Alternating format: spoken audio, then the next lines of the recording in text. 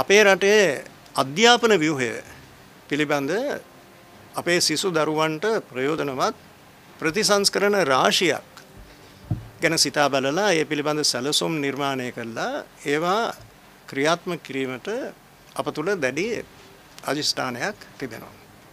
මේ සියලුම අභියෝග මධ්‍යයේ ඉතාමත් දුෂ්කර තත්ත්වයක් තුළ අපිට පුළුවන් වුණා අධ්‍යාපන පොදු සහතික උසස් පෙළ විභාගයේ ප්‍රතිඵල නිකුත් කිරීමට.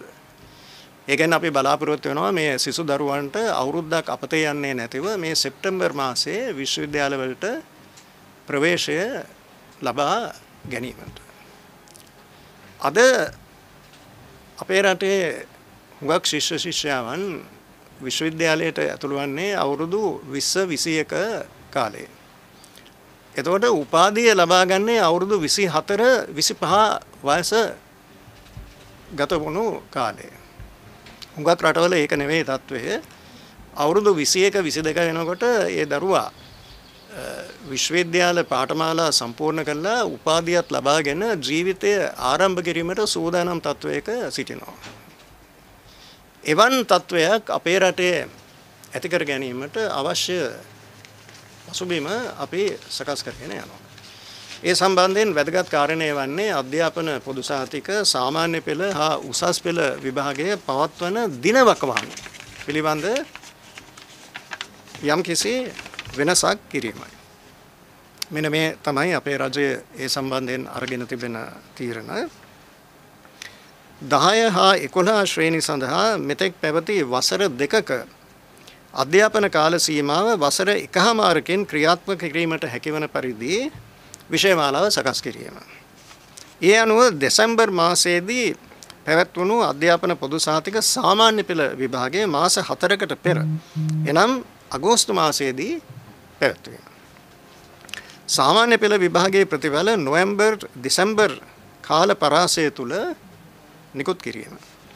එම ප්‍රතිඵල අනුව පාසැල්වල අධ්‍යාපන පොදු සහතික උසස් පෙළ පන්ති ජනවාරි මාසය තුළ ආරම්භ කිරීමට පුළුවන් තත්ත්වයක් ඇති වෙනවා.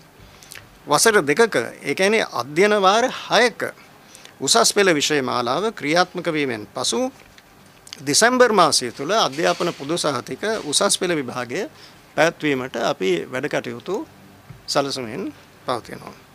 දැන් මේ ප්‍රතිසංස්කරණ කීපය ක්‍රියාත්මක කළ විගස අපේ සිසු දරුවන්ට විශාල ප්‍රතිලාභ. තමන්ගේ ජීවිතය ඉදිරියට ගෙන යාමට ලොකු රුකුලක් මේ තුලින් ලැබෙනවා. අධ්‍යාපන පොදු සහතික සාමාන්‍ය පෙළට මුහුණ දීමෙන් පසුව අධ්‍යාපන පොදු සහතික උසස් පෙළ හැදෑරීමට ඇතුළත් වීම සඳහා මෙතෙක් සිසුන් ගත කරන ලද මාස 8ක කාලය මාස 4ක් දක්වා ඒ කියන්නේ 150කින් අඩු කර ගැනීමට හැකි වෙනවා. මෙමගින් සිසුන්ට අධ්‍යාපන පොදු සහතික සාමාන්‍ය පෙළ විභාගයෙන් පසුව ඉගෙනුම් කාර්යයන් බැහැරව සිටීමේ කාලය ඒ කෙසේත් හොඳ දෙයක් නෙවෙයි. ඒ කාලය අවම කර උසස් පෙළ අධ්‍යාපනයට අවතීර්ණ වීමට ප්‍රමාදය අවම කරමින් අවස්ථාව සැලසෙනවා.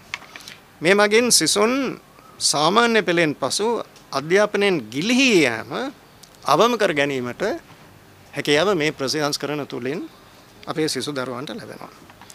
පාසල් අධ්‍යාපනය මෙතෙක් ගත කළ කාල සීමාවට වඩා මාස 8ක කාලයකට පෙර අවසන් කිරීමට සිසුන්ට අවස්ථාව සැලසෙනවා. ඒ කියන්නේ මාස 8ක් මේ තුලින් ඉතිරි වෙනවා. මේ අනුව ශිෂ්‍යයන්ට උසස් අධ්‍යාපන අවස්ථා සඳහා පිවිසීමට ගතවන කාලය අඩු කර ගැනීමට හැකි වෙනවා. ඒ කියන්නේ මාස 8කට පෙර ඒ අධ්‍යාපන කටයුතු අවසන් කරලා අපේ රටේ විශ්වවිද්‍යාලයකට හෝ විදේශීය විශ්වවිද්‍යාලයකට ඇතුළු වීමට වැඩ කටයුතු කිරීමට මේ ශිෂ්‍යයන්ට අවස්ථාව ලැබෙනවා මේ ප්‍රතිසංස්කරණ ක්‍රියාත්මක වූ විගස. එතකොට 20යි 22 විසයි විසි තුන වෙනකොට මේ සම්පූර්ණ අධ්‍යාපන ව්‍යවහය මේ විදිහට සකස් කරලා මේ ප්‍රතිසංස්කරණවල සම්පූර්ණ ප්‍රයෝජනය අපේ සිසු දරුවන්ට ලබා ගැනීමට පුළුවන් වන පරිදි අධ්‍යාපන අමාත්‍යංශය මේ වැඩපිළිවෙල සූදානම් කරමින් සිටිනවා. breaking.lk